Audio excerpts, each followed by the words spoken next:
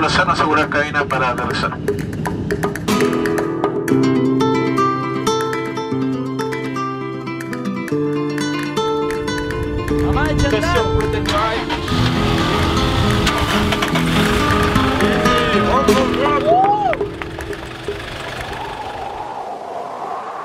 So with Pauline, we just finished on the Pacifico. We had an amazing race and we wanted to discover a bit more of Chile and uh, we decided to fly to Patagonia and bring our trigger there to have some riding together and enjoy some time in the nature.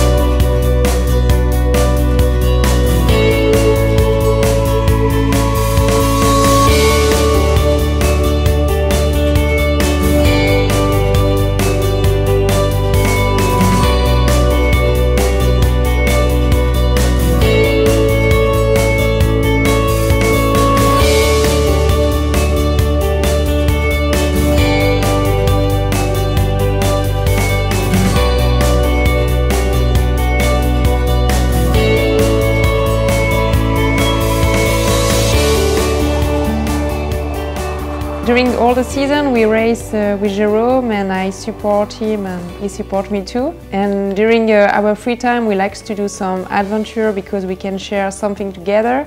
We prefer like going riding our bike instead of staying uh, at the beach. It's also uh, something that we can do uh, like in a couple. We like to take the trigger because it's light and you can climb easily and after we can just enjoy the descent.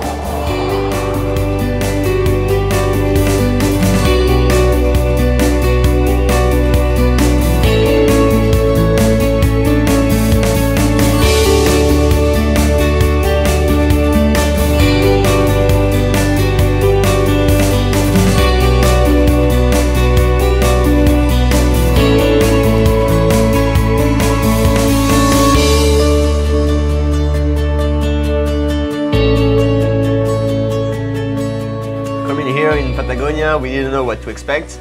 We only see some uh, pictures of the, the area and it looks amazing, but we didn't know if we will find some good trail. And luckily we have a good guide and uh, we had four days of sun.